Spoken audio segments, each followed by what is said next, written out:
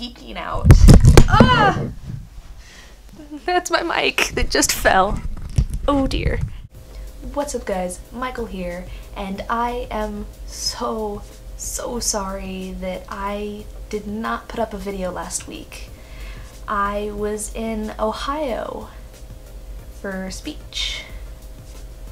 And not just anywhere in Ohio, but Athens, Ohio. And not just anywhere in Athens, but we were in a cabin that had no signal. So yeah. Anyway, to make up for not posting a video last week and posting this week's video late, I'm gonna make two videos. So the first one is while I was in Athens, Ohio, in the middle of nowhere cabin on a hill, trapped in the snow, I got to thinking. I am really surprised that I have friends. For me personally, it's really, really weird that coming to college, I have made so many friends. Because in high school, I didn't really have anyone. Like, I had a few people, like two people who I could actually call friends.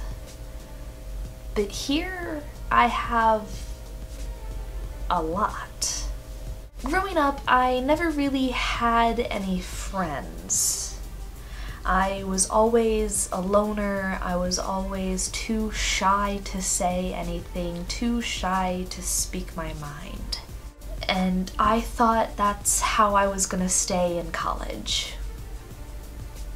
Boy, was I wrong in college, I thought that I would have the same lonesome career that I've had throughout my entire life. But one day has changed my life completely. The beginning of my freshman year, we had a lot of different meet and greet opportunities to meet new people and try to make friends, and I didn't really want to go to any of them because one, that's a lot of people, and two, a lot of them would probably be really fake and nice until you actually get to know them, and then they're like, Grr. and I didn't want to deal with that.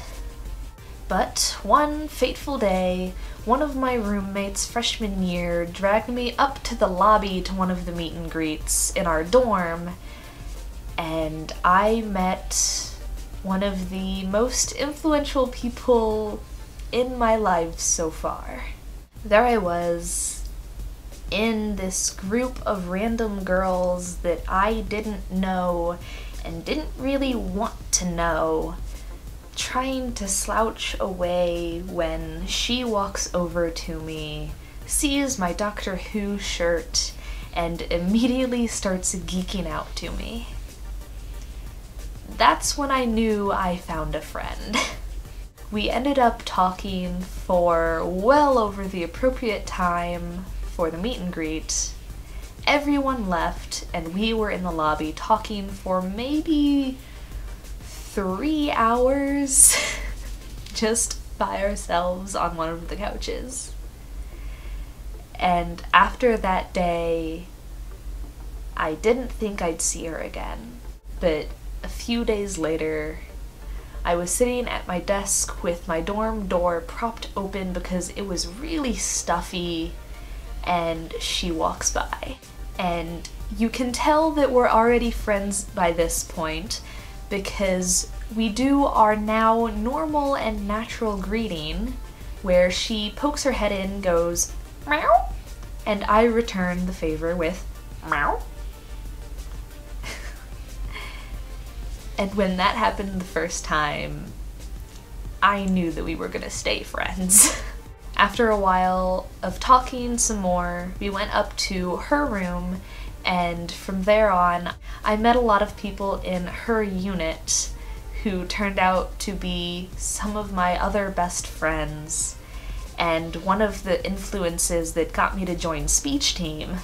And my life went from being this awkward loner, don't really want to talk to anyone if I don't have to self, to being what I am now in two weeks. so this video is a thank you. Thank you to Isabella Ferrari, one of my best friends that I could ever have. Because you were there for me when no one else was. Well, that's it for that video. I hope you liked it. If you did, please like, comment, subscribe, share the video with your friends if you want to, and I will see y'all later. Bye!